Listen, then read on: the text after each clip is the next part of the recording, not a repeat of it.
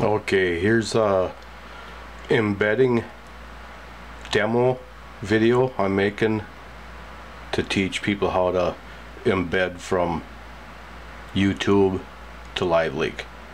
So start out by going up here, the tabs, click on submit. And then up here, these tabs, uh, select add embed. Once that opens up, I'm going to put the title in there. This is general embed info.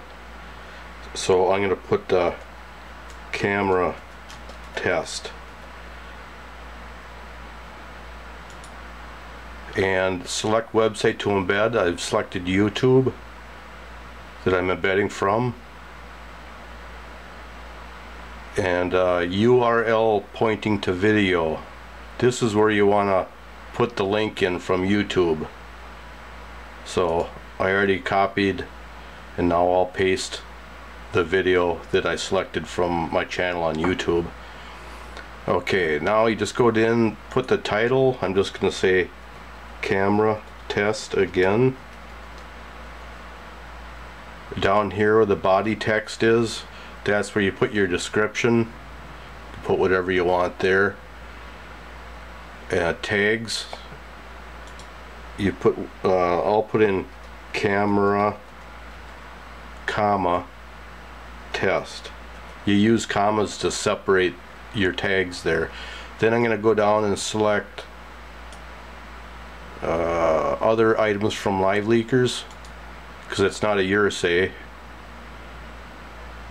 Then down here, location, Wisconsin,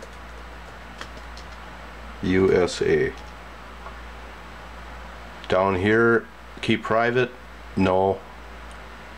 Uh, content rating, click the drop down arrow and select however it applies. So general audience, I'll select today's, select today's date. I'm just going to click that. And then here, uh, agree to terms of service. I have read the terms and conditions and uploading rules and I agree to them. Just put a check mark in there. That should be it. Then all you gotta do is go up here, add embed. Click on that. You see the thumbnail there for my video. It's all ready to go. Title's in there and then uh, body text, whatever you wanna put on there. Other items from Live Leakers is selected. My location's in there content ratings in there and the most important thing is put the check mark in the agree to terms of service then all you got to do is just click on add item and uh, as long as everything's filled out right you'll see a box pop up saying that you are successful. And then it'll it'll shoot right over there. You don't have to wor worry for anything any uploading and it'll be sitting there waiting for approval. That's all I gotta do.